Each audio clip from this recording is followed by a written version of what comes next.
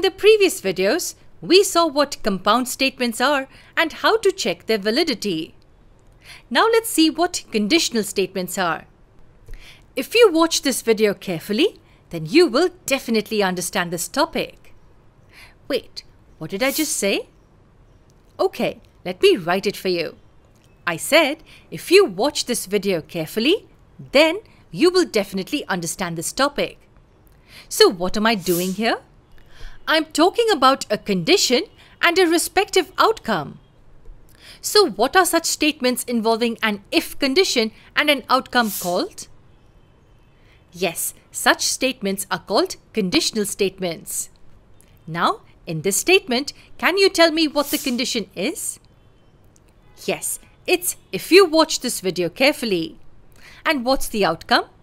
Yes, you will definitely understand this topic. Let's denote this statement as P and this one as Q. So can you tell me now how can we represent a conditional statement? Yes, we can represent it as if P then Q, where P is the condition and Q is the outcome. Now, I want you to be a little more attentive here. In this statement, if P occurs, then what will be its implication? The implication of occurrence of P would be the occurrence of Q. So can we say that Q is nothing but the implication of P? That is, the occurrence of P implies the occurrence of Q. So we can write this as P implies Q. Mathematically, we can also write it as this, which is read as P implies Q, which means that if P happens, then Q will definitely happen. That is, if P, then Q. Okay, now that we know what a conditional statement is, can we think of a few more examples? Here's the first one. If I study well, then I will pass. And how about this? If a player commits a foul, then she is penalized. Simple, isn't it? Do share with us the examples you came up with. Now let me tell you that the conditional statements may also be of the form P only if Q or P if and only if Q. But we will see them in the videos to come. For now, let's see what converse statements are. We just saw what if-then conditional statements are, that is, statements of the form if P then Q. Now can you tell me for this statement if Q then P is also true? That is, whether the converse of the statement is also true?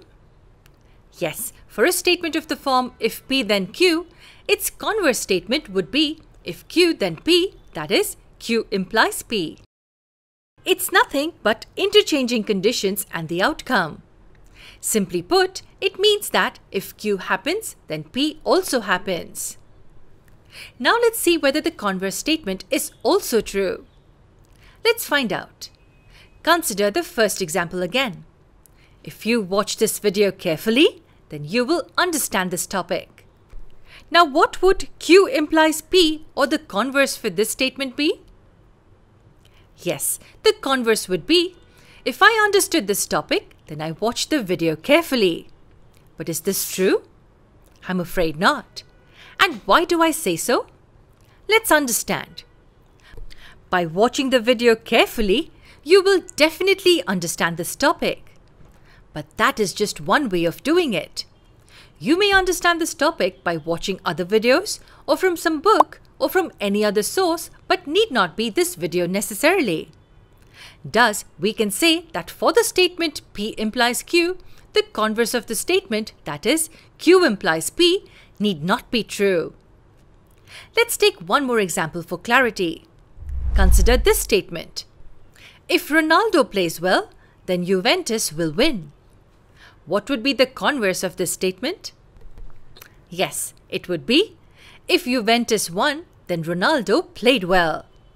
Can you tell me whether the converse of this statement has to be true? Of course not. Let's understand why. Ronaldo playing well is one of the sufficient conditions for Juventus to win. That is, if Ronaldo plays well, then Juventus will win regardless of the other conditions. But does that mean it's the only condition for Juventus to win? Right. it isn't the only condition.